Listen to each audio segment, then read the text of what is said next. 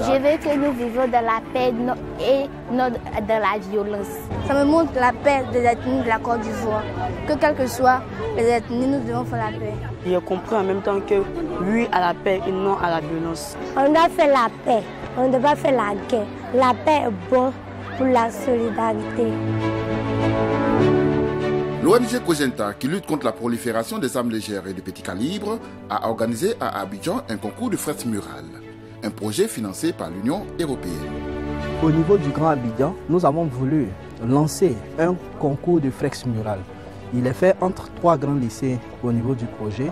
C'est le lycée moderne 1 et 2 d'Abobo, le lycée municipal 1 et 2 d'Atekoubé et le lycée municipal de Pobre. Nous voulons susciter une contribution des élèves une création originale venant d'eux-mêmes pour sensibiliser leurs camarades. Je voulais tout simplement exprimer ici que les élèves n'ont pas le droit de pouvoir euh, chasser les camarades en plein coup. Ça représente beaucoup de choses pour moi parce qu'en faisant cela sur le mur, ça va leur permettre de, revenir à eux-mêmes, de ne plus jamais faire des choses négatives dans le lycée. La sensibilisation est très bienvenue, surtout, je dirais, dans notre lycée ici, parce que c'est un lycée qui est connu comme un lycée où il y a beaucoup de brutalité. Lorsqu'un enfant est occupé sainement, il n'a pas le temps de, s'évader pour aller commettre des actes que, que, l'on sait. Euh, notre dessin exprime la paix qu'il doit y avoir entre les différentes communautés qui se sont beaucoup chamaillées durant cette guerre, pour symboliser la communion qu'il doit y avoir entre eux. Le sens premier, c'est déjà de montrer que les cours d'art plastique ont une importance dans la vie des enfants à l'école. participer à ce concours, déjà, ça leur permet de s'exprimer déjà et d'entrer en contact avec d'autres établissements et d'autres élèves. Et donc là, je crois que c'était vraiment, vraiment bienvenu. Plusieurs heures de dur labeur a permis à ces lycéens de faire éclore leur talent artistique.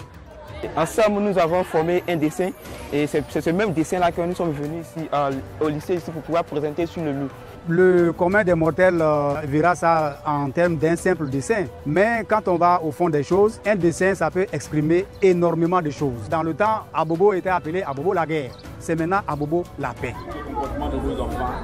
Alors j'ai tenu à participer à ce projet pour que tout le monde comprenne que la violence n'est pas nécessaire dans ce monde, qu'on peut discuter, dialoguer. Non à la violence, oui à la paix. Quand on sait tout ce qui se passe dans nos écoles par ces moments qui courent, il est bon pour nous de pouvoir sensibiliser nos élèves. Le ruban, vous le voyez, ils ont écrit oui à la paix, qui veut dire oui à la solidarité, oui à l'espoir, oui à la reconstruction du pays, oui à l'amour.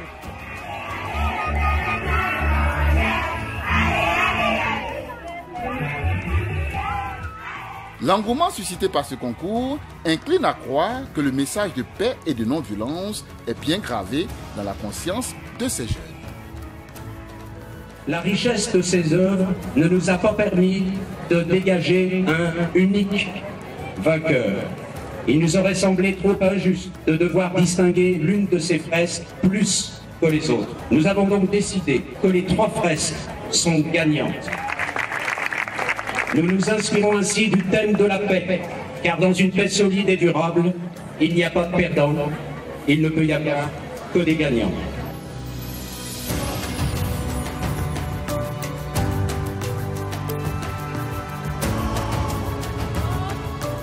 Ce sont des actions de paix exprimées par nos enfants, qui plus que nos enfants ont une vision de la paix de l'humanité, Mesdames, Messieurs du COGINCA, Mesdames, Messieurs de l'Union européenne, vous faites une œuvre immense de sensibilisation et nous osons croire que cette activité va être étendue à tous les établissements de Côte d'Ivoire.